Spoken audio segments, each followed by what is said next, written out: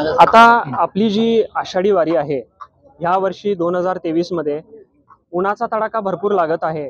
तर आमची मागणी अशीच आहे की वाटचालीमध्ये जो अश्व आहे दोन्ही अश्व जे मानाचे आहेत जे माऊलींच्या सेवेसाठी सज्ज असतात त्या दोन्ही अश्वांची देखरेख या वारीच्या वाटचालीमध्ये व्यवस्थितपणे व्हावी.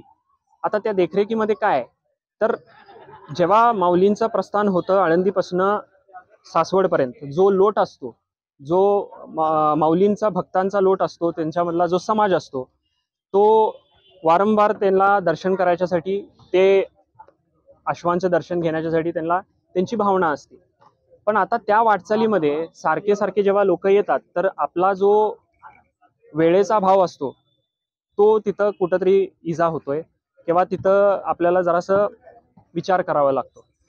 आता आमच्या ह्या गोष्टींमध्ये आम्ही म्हणतो की जे फोर्स आहे जो लवाजमा आहे किंवा जो लोकांचा लोट आहे त्याला आपल्याला थोडक्या पद्धतीने जर माऊलींच्या वाटचालीमध्ये कॉन्स्टेबल्स किंवा स्वयंसेवक किंवा एन जी ओज हे लोक आजूबाजूला त्यांच्यासमोर असले तर कदाचित पूर्ण पद्धतीने नाही पण थोडकं त्याच्यामध्ये आपल्याला फरक जाणू शकतो आपण आणि वाटचालीमध्ये वेग आपल्याला करता येईल. म्हणजे पुढच्या टप्प्याला काही उशीर होऊ नये. कारण असं काही गोष्टी आहेत की ज्याच्यामध्ये पुढच्या टप्प्याला आधीपासून आपण विचार करावा लागतो. जसं की समाज आरती असती. जिथं माऊलींचा विसावा असतो तिथं समाज आरती होते. आता ते समाज आरती टायमापर्यंत झाली तर त्याला काहीतरी मान्यता आहे.